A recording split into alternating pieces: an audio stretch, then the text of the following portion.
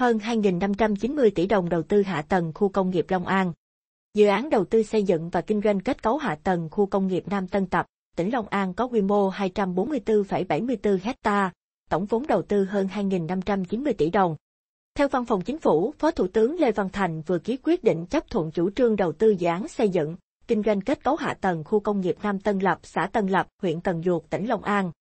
Dự án hoạt động 50 năm, quy mô sử dụng đất trên 244,7 hecta, do công ty trách nhiệm hữu hạn Sài Gòn theo Long An là nhà đầu tư, với tổng vốn rót hơn 2.590,4 tỷ đồng, trong đó vốn góp của nhà đầu tư là gần 440,4 tỷ. Ủy ban Nhân dân tỉnh Long An chỉ đạo Ban Quản lý Khu Kinh tế tỉnh Long An hướng dẫn nhà đầu tư quy định cụ thể tiến độ thực hiện dự án, trong đó lưu ý tiến độ góp vốn chủ sở hữu của nhà đầu tư.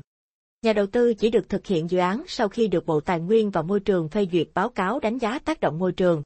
Ủy ban Nhân dân tỉnh Long An chịu trách nhiệm toàn diện việc thực hiện các trình tự, thủ tục việc đã cho các nhà đầu tư thứ cấp thuê đất để xây dựng các dự án trong phạm vi quy hoạch khu công nghiệp, bảo đảm phù hợp với quy định của pháp luật. Tỉnh cũng chịu trách nhiệm thống nhất phương án sử dụng chung hạ tầng khu công nghiệp trong quá trình thực hiện và sau khi khu công nghiệp đi vào hoạt động giữa các nhà đầu tư thứ cấp và nhà đầu tư hạ tầng khu công nghiệp Nam Tân Tập, đảm bảo hài hòa lợi ích giữa các bên, không để xảy ra khiếu nại, khiếu kiện.